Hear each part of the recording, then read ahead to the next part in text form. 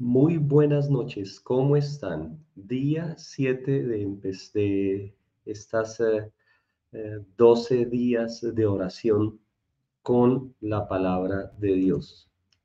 Qué bueno empezar aquí este tiempo eh, orando por Julio, ¿no? Estamos aquí en el día 7 ya orando por Julio. Dígame por favor, ¿cómo se ha sentido en estos seis días de oración? Cuénteme, dígame por favor, desde dónde está conectado, cómo le ha parecido, cómo se ha sentido, por favor. Charlemos un poquito antes de empezar. Esperemos a que más personas se conecten. Si alguien, eh, de pronto usted lo invitó en esa conectada, dígale, ya empezó, hermano, conéctese que ya empezamos. Vamos con Julio. Julio, Julio. Este, este, este mes fue nombrado en nombre de, en honor a Julio César, ¿no? Nosotros nos regimos estos nombres por el calendario romano. Y él dijo, bueno, si vamos a estar nombrando los meses, yo quiero que uno de los meses se llame con mi nombre. Y entonces mm, le puso, le puso su, nombre ahí. Fíjese que, esto de los, de los meses es bien, bien tremendo. Eh, el, mes que seguía después de, de junio era el séptimo, ¿no? Y el, que seguía debía seguir era septiembre, por el séptimo, octubre por el octavo, noviembre por el noveno, diciembre por el décimo. Pero entonces como el emperador manda, el emperador tenía que meter su nombre aquí en los, en los meses, dijo, no, después de este de junio va al mío, julio, pero es que no tiene sentido, no, no importa y, entonces los otros meses, agosto, por el hecho de, de, meterse ahí el, el, emperador, los otros nombres quedaron como que sin sentido, ¿no? Bueno, yo bueno, gracias por todos sus saludos, gracias por todas sus bendiciones. Vamos entonces con Julio, ¿les parece? Julio, mes 7 y vamos con Génesis capítulo 7. ¡Wow! Este es tremendo. Características de eh, Génesis capítulo 7. Bueno, allí es cuando obviamente el diluvio entra en efecto. Capítulo 6 es la preparación, es el juicio, es la advertencia, pero el 7 ya se viene en pleno. Lo que es el juicio de el diluvio. Encontramos que mm, es cuando se, se, efectúa el diluvio. Fíjese, me, me llama la atención el versículo 10 Dice, sucedió que al séptimo día las aguas del diluvio vinieron sobre la tierra. Habla de aguas, habla de cómo el séptimo día, no es casualidad que hoy sea el séptimo día que estemos orando. no es casualidad, Dios no le toma nada por casualidad. Y dice que ese día se desataron lluvias sobre la tierra. Versículo 11. En el año 600 de la vida de Noé, en el mes segundo, a, las, a los 17 días del mes, aquel día fueron rotas. Quiero que se fijen en ese versículo porque es la idea central de, de, Julio, como vamos a orar por Julio. En aquel día fueron rotas todas las fuentes del gran abismo y las cataratas de los cielos. Fuentes de abajo, fuentes de arriba fueron abiertas de los cielos, fueron abiertas y hubo lluvia sobre toda la tierra 40 días y 40 noches. Tremendo. Ahí nos vamos a centrar. Mm, julio eh, tiene el mes 7 y es el mes de plenitud. El 7 en la Biblia simboliza plenitud, simboliza lo perfecto, simboliza cuando usted está pleno, completo. No sé, una alegoría es cuando usted acaba de comer y usted dice, estoy lleno, estoy perfecto, estoy completo que alguien le dice, le ofrezco algo más, desea algo más, usted dice, no, no quiero, es que estoy perfecto, estoy completo, no, estoy lleno. Y es, y, es algo que nosotros necesitamos pedirle a Dios, la plenitud, la plenitud de nuestras vidas. A veces nos hemos acostumbrado a las cosas incompletas, nos hemos eh, acostumbrado a que, bueno, tenemos bendiciones en unas áreas y en las otras no. Nos acostumbramos que unas cosas salen bien, pero no tengo salud, no tengo salud, pero no tengo finanzas. Tengo finanzas, pero no tengo con quién compartirlas. Tengo mm, eh, salud, pero no tengo un hogar. O sea, la Biblia habla que la bendición de Dios es la que enriquece, y que la bendición de Dios es completa. Una de, las características de la bendición es que es, que es completa, es que es perfecta. Si no, no sería una, una, bendición. La bendición lo copa todo, lo abarca todo, tiene ese poder la bendición, ¿no?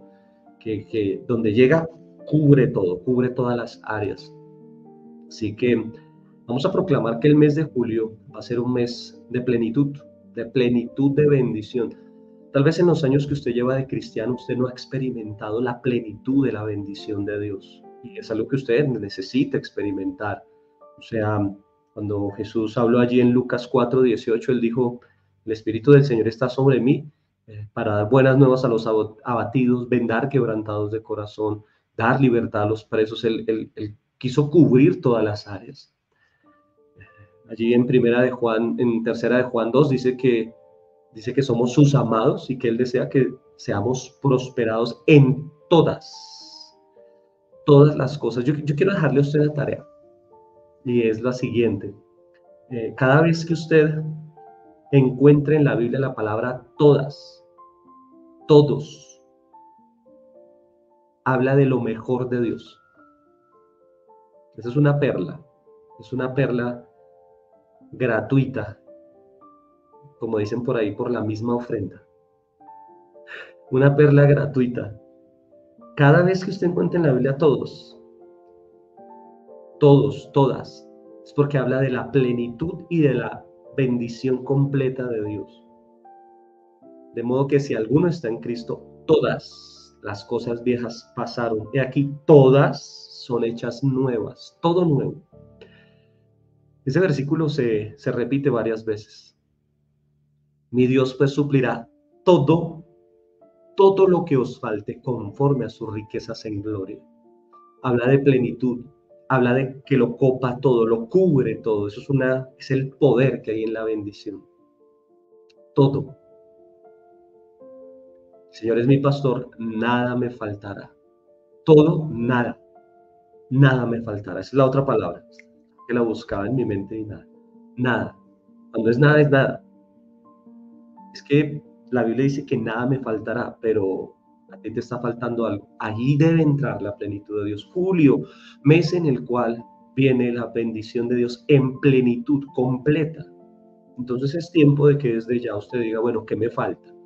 ¿En qué cosas no está la bendición completa? Bueno, necesito ver la bendición de Dios en esto. Es una determinación que usted debe tomar yo necesito la bendición de Dios en esto y yo la quiero, yo la, yo la, yo la deseo en mi vida. Hay un texto espectacular. Em, muchas cosas que yo les comparto a ustedes las descubre mi esposa. Lo que pasa es que em, ella no las comparte, a veces no le, no le, no, no, no, le no las comparte aquí en el canal, ¿no? Pero ella me las dice y con el permiso de ella yo las comparto. Ah, ella me dice, mira, encontré esto, y yo, wow, súper, eso está tremendo. Y yo soy el que las comparte, gente que me dice, uy, tremendo eso que usted compartió, pero los créditos son de mi esposa Claudia. Este, a veces se me olvida darle el crédito, discúlpenme. Sí, hay una, una madrugada de oración que fue la de, mm, mm, no me acuerdo, una, y se me olvidó darle el, el, el crédito a ella. A este sí se lo doy. Mire este versículo, esta perla que está aquí en Josué, capítulo 15, versículo 17 al 19. Josué 15, 17 al 19. Si alguien lo puede colocar ahí en el chat, por favor, para, para poder mm, tenerlo. Josué 15, 17 al 19. Mire lo que dice.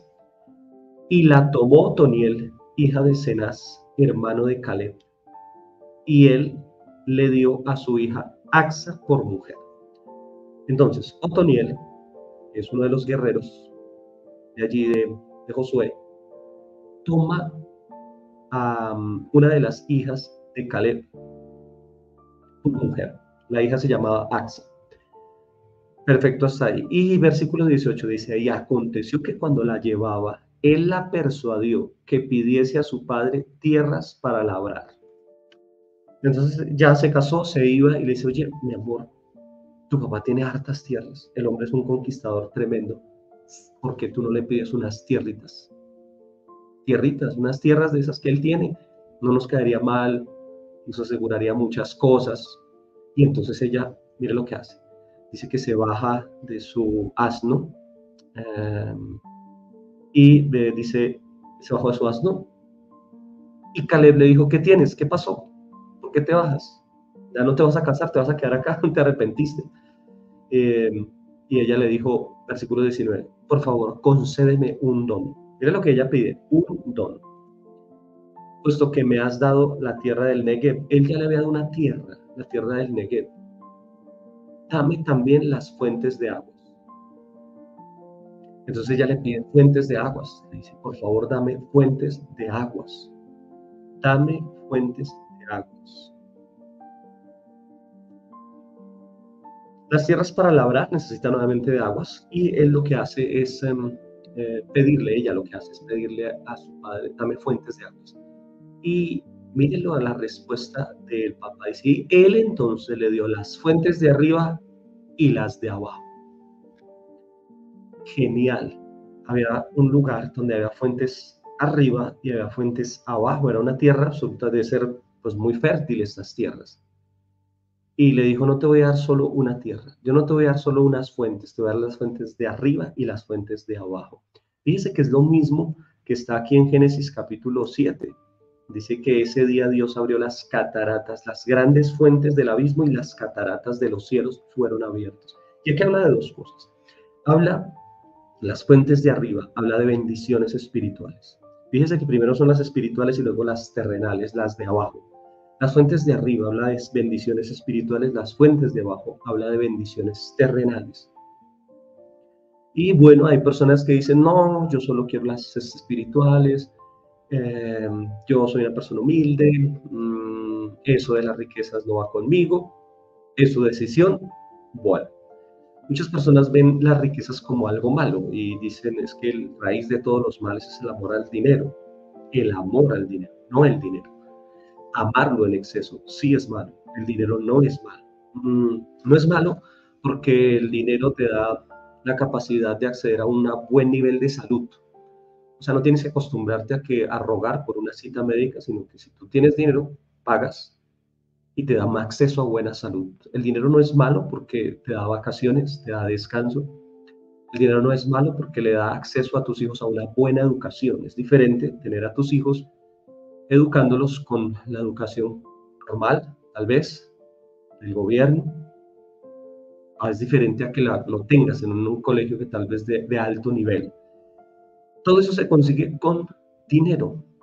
No es malo el dinero, depende del corazón y la persona que lo tenga. Así que Dios nos está hablando aquí que el mes de julio va a ser un mes en el cual se van a abrir las fuentes de arriba y las fuentes de abajo las fuentes de los cielos y las fuentes de la tierra. Los grandes abismos de la tierra de bendición van a comenzar a fluir. Estaba estudiando para este tiempo y no sé si usted ha visto los, los volcanes. ¿sí? Este estudio decía que los volcanes es muy probable que se hayan formado en ese tiempo, cuando de la tierra empezaron a brotar fuentes de agua. Y así se formaron los volcanes. ¿sí?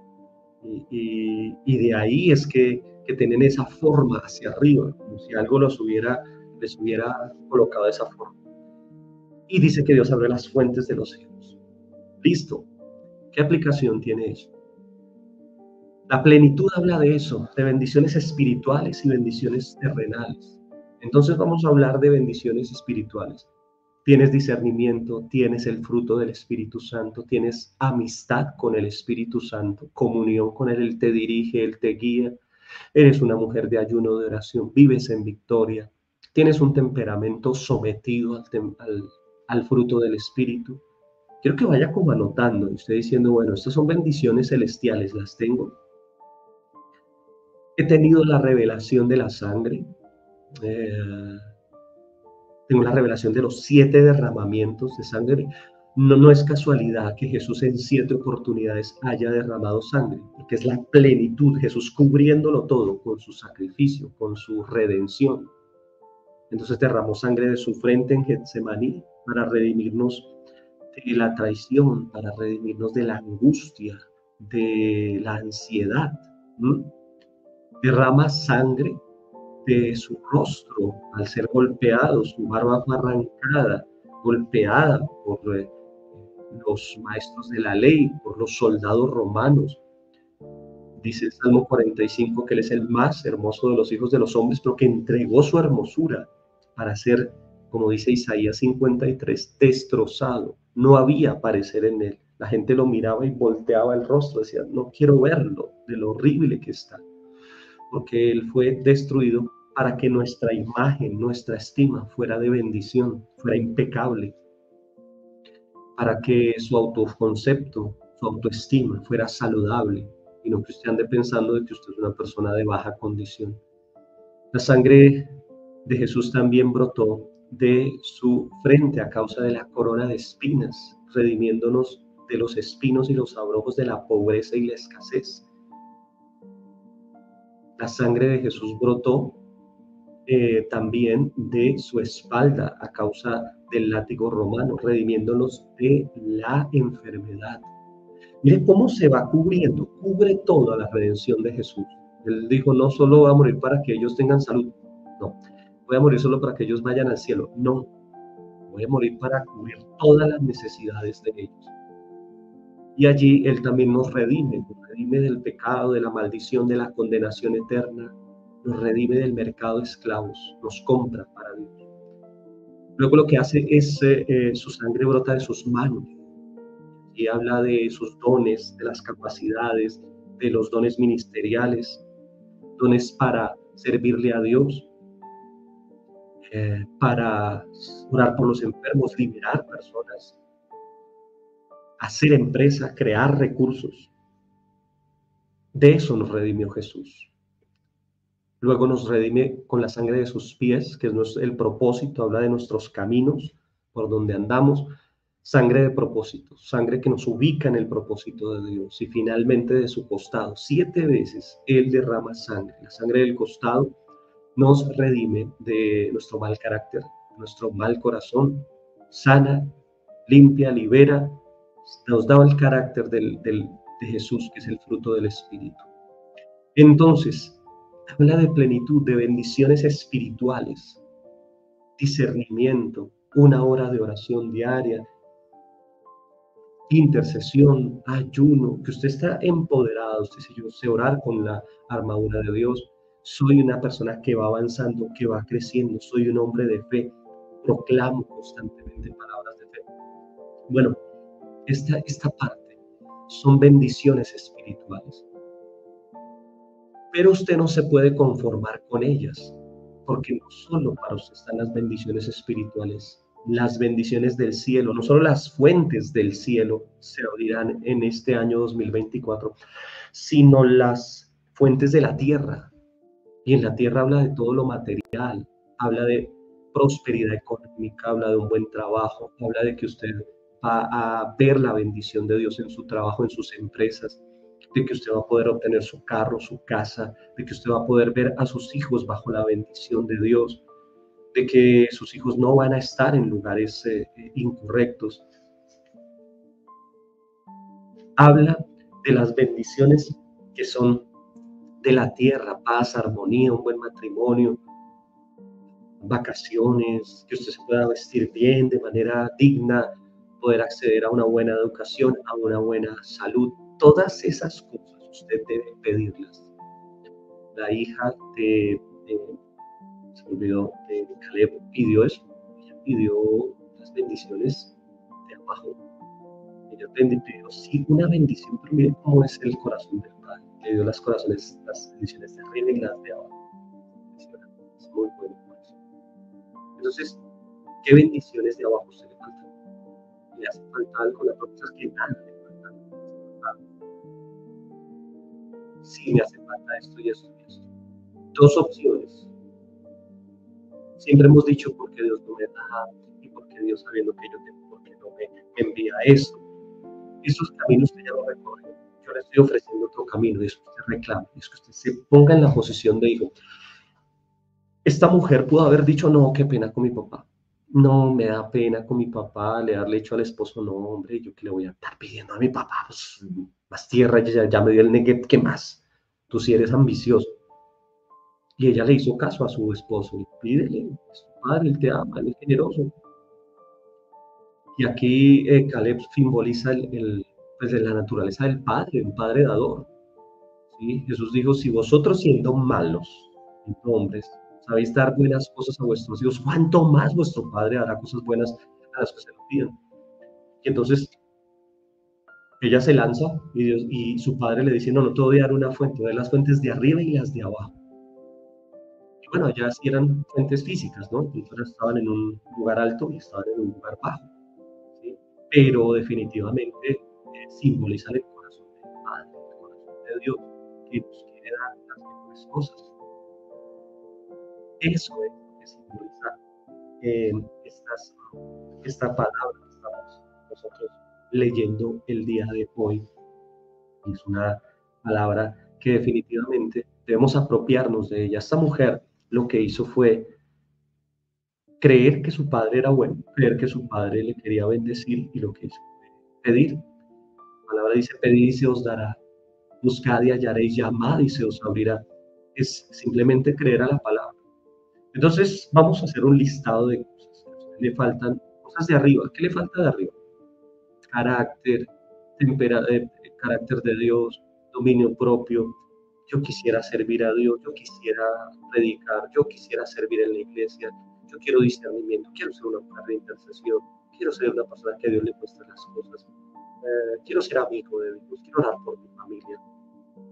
Bueno, pídalas, quiero unción para liberar, unción para sacar. A veces se habla de pastores o líderes de célula, pero pida las bendiciones de arriba y las bendiciones de abajo pues, no se pueden quedar atrás, porque las necesitamos también para vivir. Bueno, usted no puede suceder lo que le sucedió al profeta allí en, la Primera de Reyes. ¿sí? La mujer llega al profeta le dice, al profeta, pues, mi esposo murió, él era tremendo profeta, pero se murió y quedamos en la ruina, estamos endeudados y alguien viene a llevarse a mis hijos. No puede tener esa, ese, ese estilo de vida cristiana. Que sirve, que está en la iglesia, que ora, que está en pobreza y en escasez. Dios quiere llevarlos a una tierra de bendición.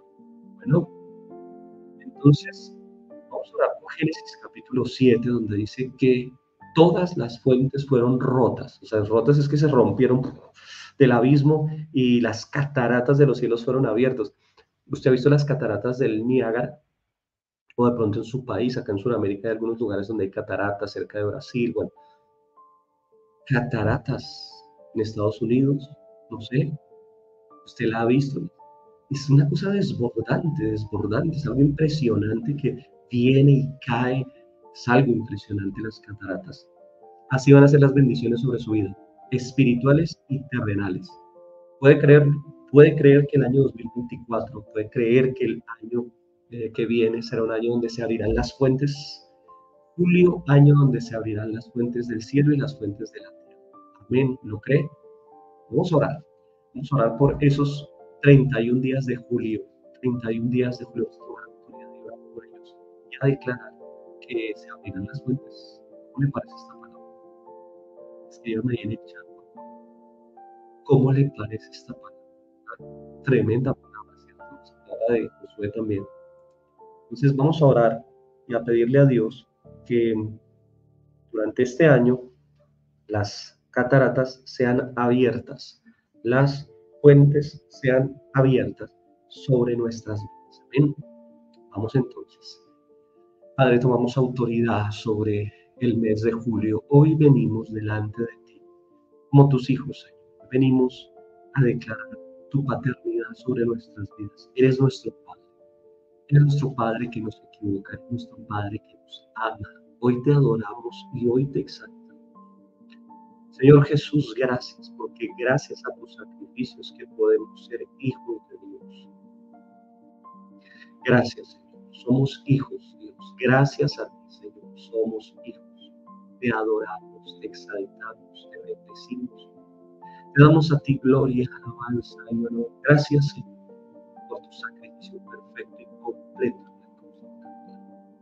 Hoy, Señor, tomamos autoridad sobre el mundo desde perfección la bendición es de completar la bendición Hoy te adoramos, hoy te exaltamos, hoy declaramos que es un mes de la bendición.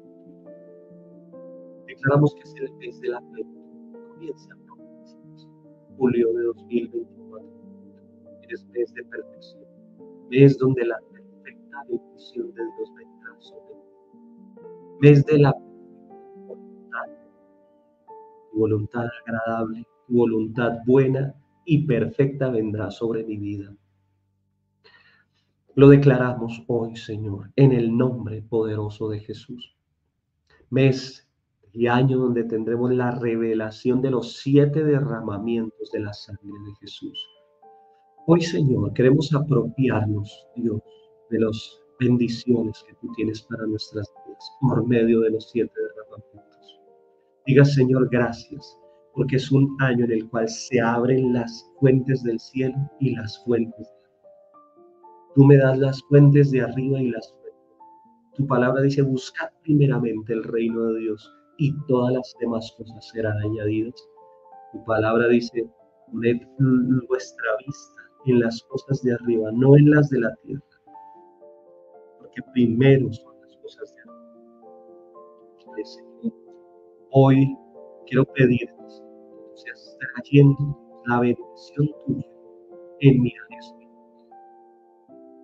Dígale, Señor, hoy quiero pedirte que la sangre que brotó de tu frente allí en Getsemaní sea limpiando mi vida de toda infidelidad, limpiando mi vida de toda traición, de todo efecto de la traición en mi vida. Yo te coloco delante de ti todo tipo de traición que ha venido a mi vida, no, Señor, en mi vida.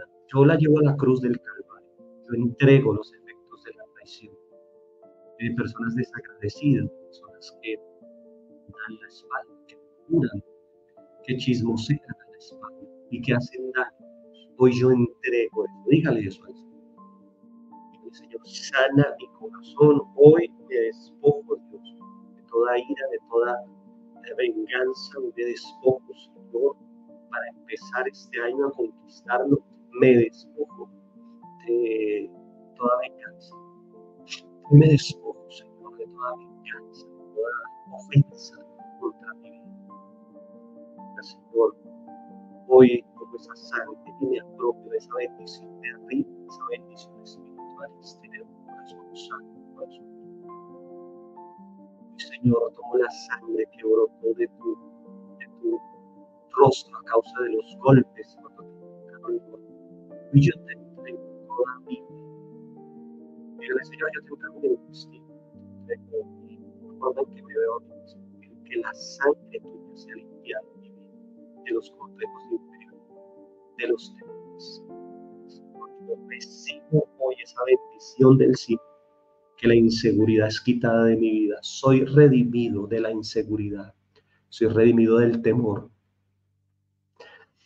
Hoy reclamo las bendiciones de arriba por medio del sacrificio tuyo allí en la cruz del Calvario. Dígale, Señor, yo recibo tu belleza, pido que embellezcas mi vida por medio de tu sangre, embellezcas mi vida, mi hogar, mis hijos, mis finanzas, embellezcas mi hogar, mi matrimonio, quites todo lo feo que hay en mi vida. Cuando tú estabas allí camino al Calvario, nadie te podía ver porque perdiste tu hermosura para entregármela a mí. Hoy yo pido que tú traigas tu belleza sobre mi vida, sobre todo lo que soy, sobre mis hijos, mis nietos, mis finanzas, mi ministerio, lo embellezcas. Pido las que las fuentes de arriba se abran Fuentes de. Hoy, Señor, pido que la sangre que brotó cabeza causa de la corona de espinas sea redimiendo mi vida de la ruina y la escasez. Y ahora yo pido las fuentes de abajo, Señor. Pido que las fuentes de abajo, Señor, se abran. Se abran sobre mi vida. Se abran sobre mi hogar, sobre mis hijos. Diga, Señor, hoy pido que la sangre tuya sea tocando mis finanzas. Y declaro que mis finanzas son redimidas de toda maldición generacional de ruina y de robo. Pido perdón por todas las personas en mi familia, mis antepasados que han robado, mis padres, abuelos, bisabuelos, tatarabuelos, cien generaciones atrás. Pido perdón, Señor. Perdona el robo, la estafa, el mal uso del dinero en mi familia. Pido, Señor, toda maldición generacional también sea llevada a la cruz del Calvario. Pido que abras la fuente de abajo, las fuentes del cadena en las vidas. Bendición que el son de prosperidad, de bendición se abren las fuentes financieras. Muchas fuentes, dice la palabra de Señor. Muchas fuentes. Hoy, Señor, pido que se abran fuentes de ingresos. Tal vez tú tienes una fuente de ingresos, Hoy le vas a pedir a Dios, dame más fuentes. Tal vez tú tienes una tal vez alguien te. Una fuente. Dile dos fuentes, tres fuentes, cuatro fuentes, múltiples fuentes de ingresos. Porque esa es la bendición para tus hijos palabra hoy se abren fuentes de ingresos diferentes en el nombre de Jesús de Nazaret, por el poder de la sangre que brotó de la cabeza de Jesús a causa de la corona de espinas, se abren, ordeno que se abran fuentes financieras diferentes para cada uno de tus hijos, para mi vida, para mi familia, para mis discípulos, líderes de célula, en el nombre de Jesús de Nazaret Pido, Señor, que se abran las fuentes de la tierra a causa de la sangre de Jesús.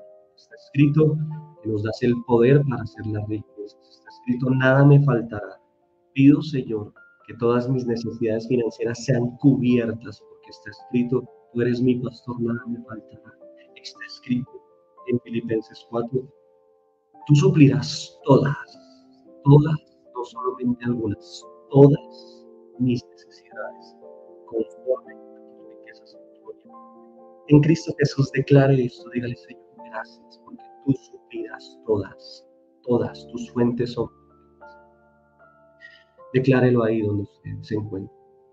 Hoy, Señor, declaramos que tu bendición cubre toda nuestra vida. Es de plenitud, mes de plenitud, Señor. Hoy, Señor, declaramos que el mes de julio es mes de plenitud financiera, plenitud sentimental, plenitud emocional. El Señor, gracias porque tú me bendices con plenitud emocional, sanas mi estima, sanas mi imagen, sanas, Señor, mi corazón. Pídele al Señor que Él lo redima. Dígale, Señor, gracias porque tú traes las bendiciones de abajo. Quiero que usted comience a orar. Dígale, Señor, trae mi casa este año. Trae, Señor, mi, mi, yo oro por esas vacaciones. Tal vez usted siempre ha vivido en renta, en arriendo. Pida que este año se cumpla esa palabra. No depende de lo que usted tenga, no depende de su vocación, depende de lo que usted tenga. Depende de la bendición de Dios para su. Diga, Señor, yo tomo la sangre que brotó de tu frente a causa de la corona de La aplico sobre mi casa. Toda oposición para obtener tierra poner terreno esquita, a desarraigar los espinos, los abrojos que había en la tierra, son desarraigados y los envío a lo profundo del agua y declaro que entro a poseer tierra, que entro a poseer mi carro, poseer mis finanzas, a poseer ese nuevo lugar para mi empresa, a poseer ese nuevo lugar que quiero. Esta sangre sangre de conquista, cada vez que usted quiera conquistar algo, use esta sangre y la sangre le va a traer victoria. Apocalipsis 12:11 dice que por esa sangre hemos sido victoriosos, hemos vencido ya. Señor, tomamos la sangre que brotó en tu espalda causa del látigo romano y declaramos que somos redimidos de la enfermedad. Porque está escrito, por su llaga fuimos nosotros curados. Está escrito en tu palabra, por tu llaga fuimos nosotros curados. Hoy declaramos, tú eres Jehová nuestro sanador. Tú has alejado de nuestra vida toda enfermedad. Y digas, Señor, hoy me apropio de mi sanidad. Desato sanidad en los ojos, sanidad en los oídos, de ruidos en los oídos, de tinitis. Desato sanidad en la dermis. Toda, toda, toda, todo aquello que afecta a la piel. Desato sanidad en la piel, sanidad en tus manos sanidad en partes de tu cuerpo que estaban enfermas en la piel, desato sanidad en la piel por la sangre de Jesús.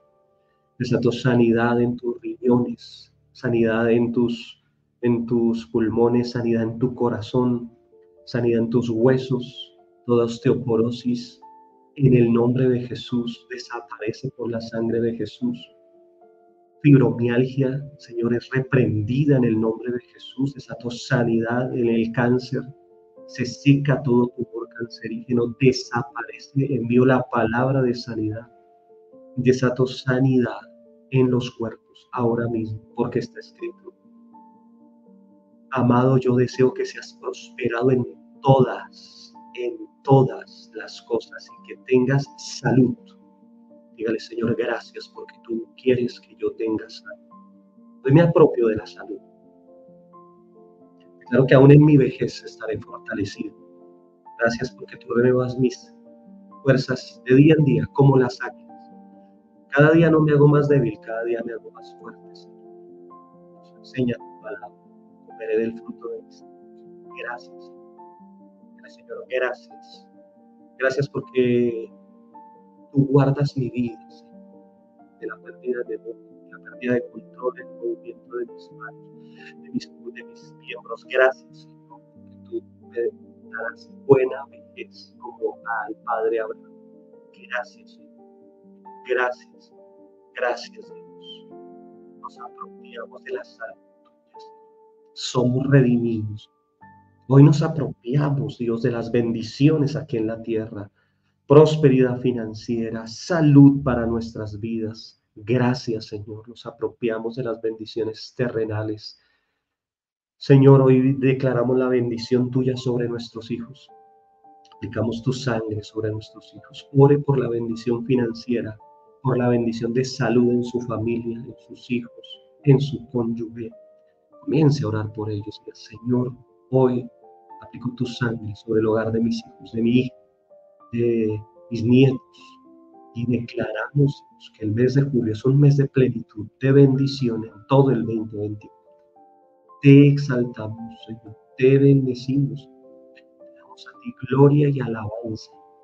Señor, hoy tomamos la sangre que brotó de tus manos a causa de los clavos romanos. En esa sangre sanaste, liberaste con tus manos hiciste todo eso, Señor. Hoy declaramos que los dones tuyos se desatan en nuestras vidas, dones espirituales para servir. Señor, dame la unción para sanar enfermos, dame la fe para imponer mis manos y liberar endemoniados.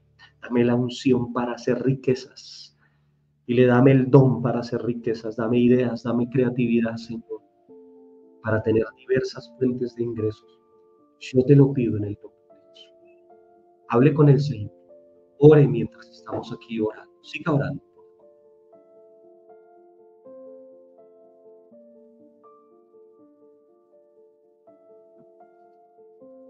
Ore por su familia.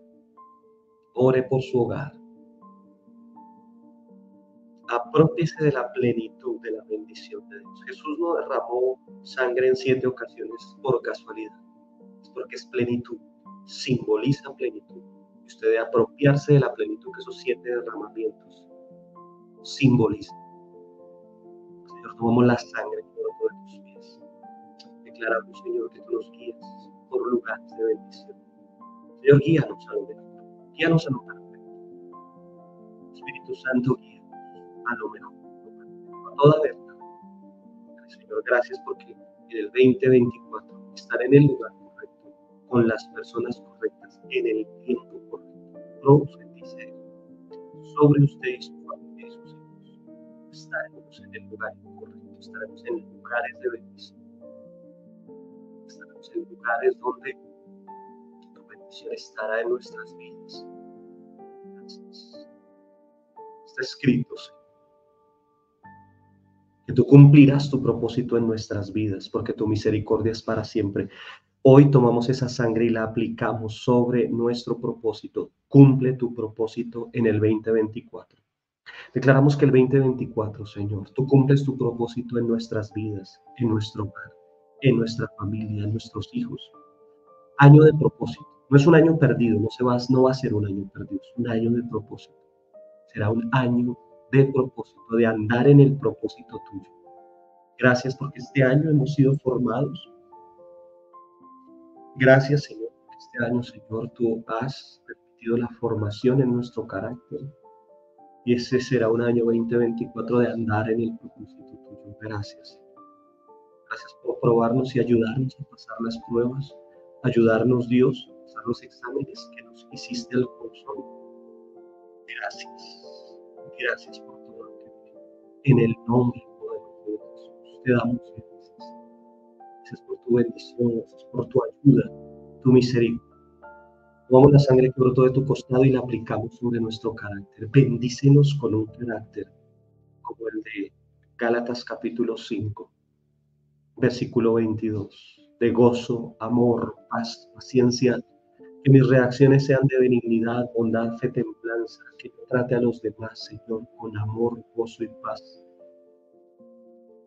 Que mi vida interior haya dominio propio, fe, mansedumbre. Señor, te lo pedimos. Bendícenos con las fuentes de arriba, un carácter conforme al tuyo y con las fuentes de abajo. Hoy declaramos tu palabra, de Josué, capítulo 15, versículo 19. Concédeme un don, dijo la hija de Caleb, puesto que me has dado tierra del de que dame también las fuentes de agua. Dígale al Señor, dame las fuentes. Y el Señor respondió y le dijo, las fuentes de arriba y las fuentes de abajo. Dígale Dios, gracias, porque las fuentes de arriba y las fuentes de abajo. Gracias porque la bendición financiera, prosperidad es para mí, porque ese es tu voluntad. Gracias abres las puertas del cielo hasta que sobre y abunde. Diga, yo soy 100% diezmador, soy por 100% bendecido, soy generoso y Dios me da da semilla para repartir, para dar, para sembrar. Padre, Dios te bendiga a Bendice a cada persona que sea posible que estemos acá. Gracias. Gracias, Dios. Gracias porque Tú nos has colocado a hacer equipo con nosotros para bendecir a miles de vidas.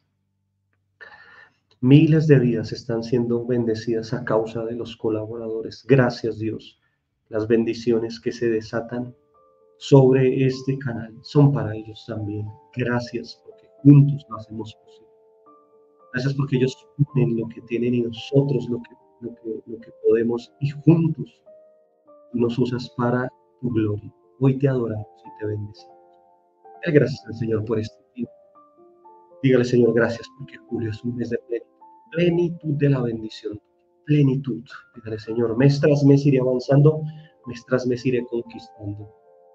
Julio es el mes de plenitud en el nombre de Jesús. Te damos gracias. Amén.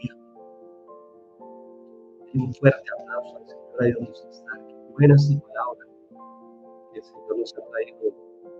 ¿Qué tal? Dejen sus comentarios, por favor. Díganos qué le habló Dios. Si es su primer día, tenemos seis días anteriores. Empezamos conquistando enero, febrero, marzo, abril, mayo, junio. Ya vamos en julio.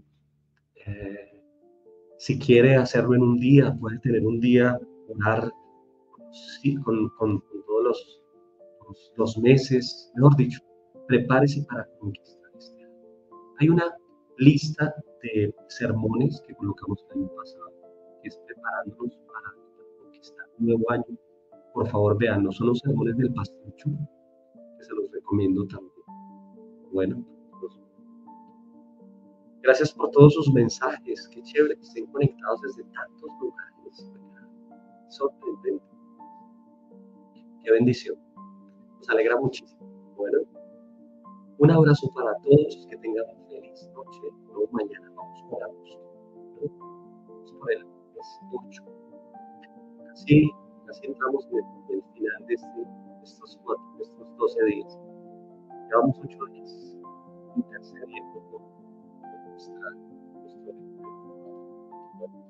Que Dios les bendiga, que tengan excelente noche. Nos vemos el día de mañana. Continuamos. Sigamos. Un abrazo. Chao.